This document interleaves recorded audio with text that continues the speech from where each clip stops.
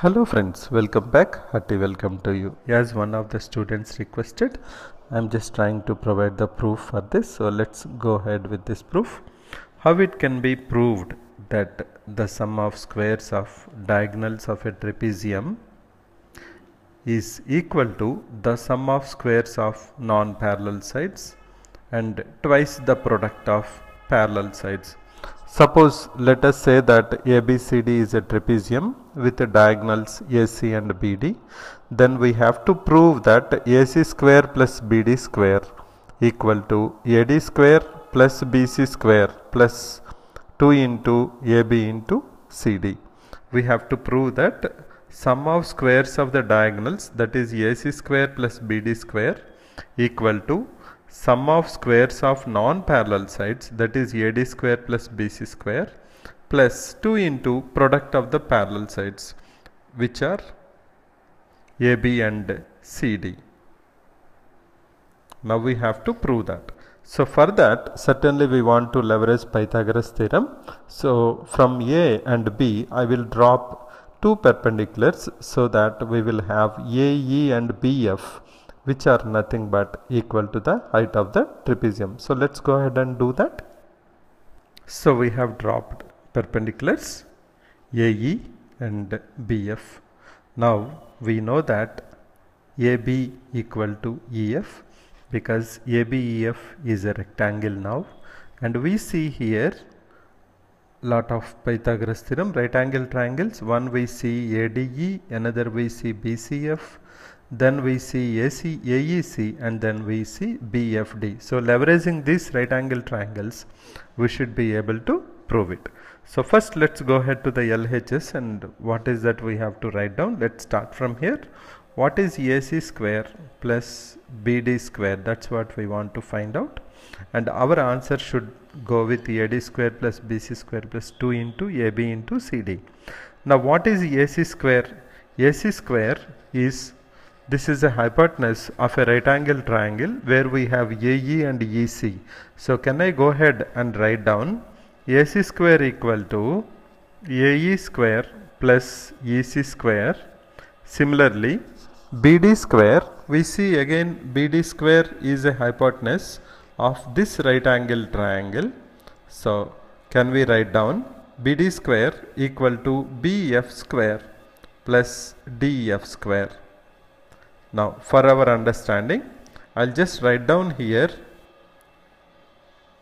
all our Pythagoras theorem whatever we are using so that it's easy we can refer them back. So first one what we use it till now one by one we will write down. So first we have used triangle A AE square plus EC square. So we can write down triangle A E C we have AC square equal to AE square plus EC square. That's a Pythagoras theorem we have used from triangle AAC. And next we have used BD square equal to BF square plus DF square. Let's write down that triangle also. We have used triangle BFD. In that we have written BD square hypotenuse square equal to sum of squares of remaining two sides that is bf square plus df square. Okay. Now let's go back to the next step here. We have ae square but we are interested to get ad we have ae we are interested in ad and we see that ad is hypotenuse of this right angle triangle.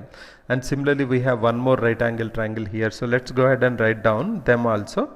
The first one i will write down triangle aed in that we will have AD square equal to AE square plus DE square. That's one triangle, right angle triangle we have. The other one is at the rightmost side. We have BFC where I can write down BC square equal to BF square plus FC square. Once we are done with this, now let's go back. We are interested to convert this into AD, but we have AE, so why can't I write down AD square minus DE square here? Instead of AE square, I will write down AD square minus DE square plus EC square.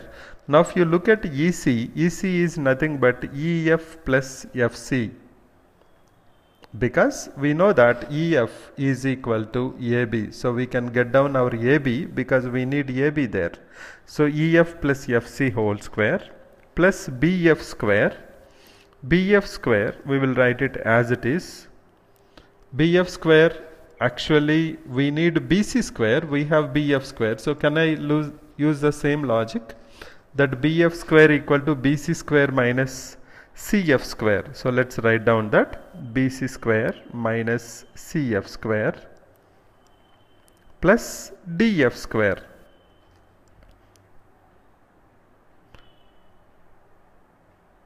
DF square is DE plus EF whole square.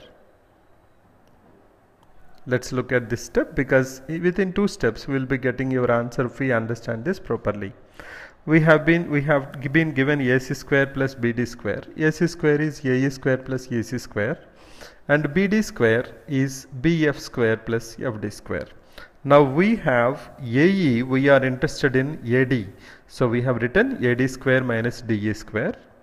After that we have EC square. EC square is EF plus FC square and then we have BF square. BF square is we can write it as BC square minus CF square. Because we need BC square then afterwards we have DF square. DF square is DE plus EF square. Now we will leverage this property that AB is equal to EF and we solve this moving forward. So let's go to the next step. Now let us see what we need in the RHS we have AD square. Yes I need AD square so that's good. So we have taken care of this guy. We need also BC square. Yes we got BC square here so we'll write down that. Then we will write down minus DE square and I have minus CF square plus EF plus FC we know EF is AB so can I say AB plus CF whole square plus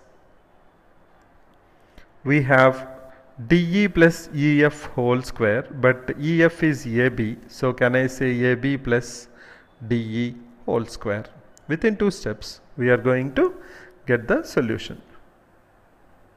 Now let's expand the whatever the squares we have we will write it down. AD square yes perfect we got it. BC square we are okay.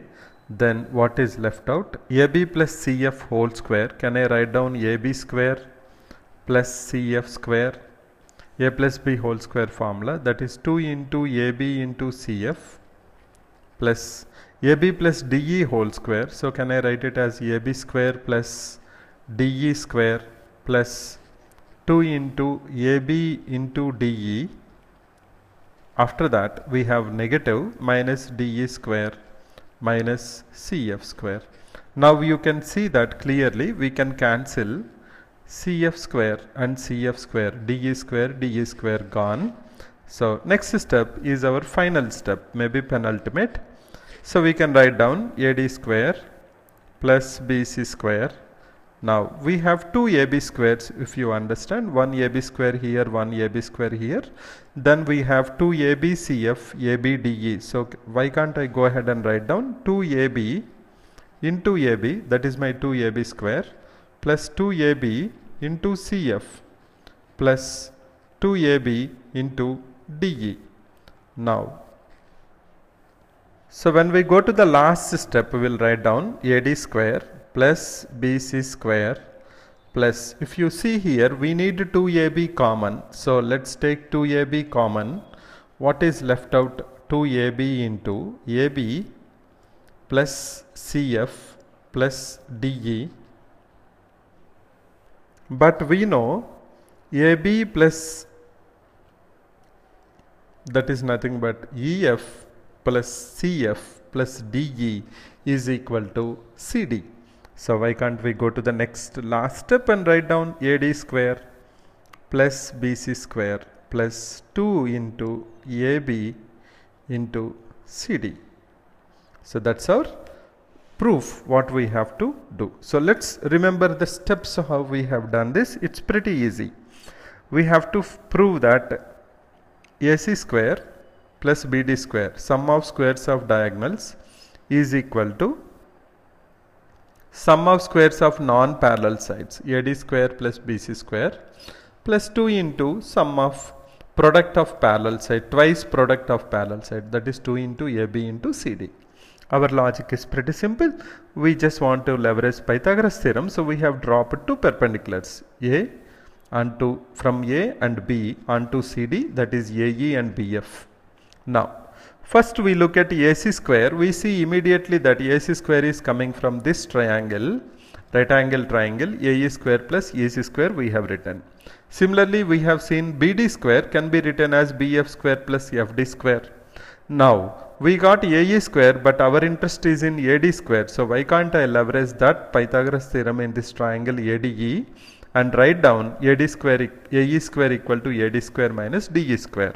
Similarly, we can write down BC square equal to B we can write down BF square equal to BC square minus CF square and by substituting EF equal to AB and simplify expanding A plus B whole square formula leveraging, we can easily prove that AD square plus BC square plus 2 into AB into CD is our RHS. So that's a proof of the theorem related to trapezium as requested by one of the students. So please do let me know your feedback on this. Thanks for your time and, and support. I'll catch you once again with another interesting video. Till then, keep smiling and sharing. Bye for now.